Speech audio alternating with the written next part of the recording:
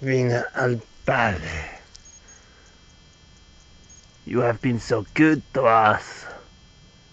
But now, you must die.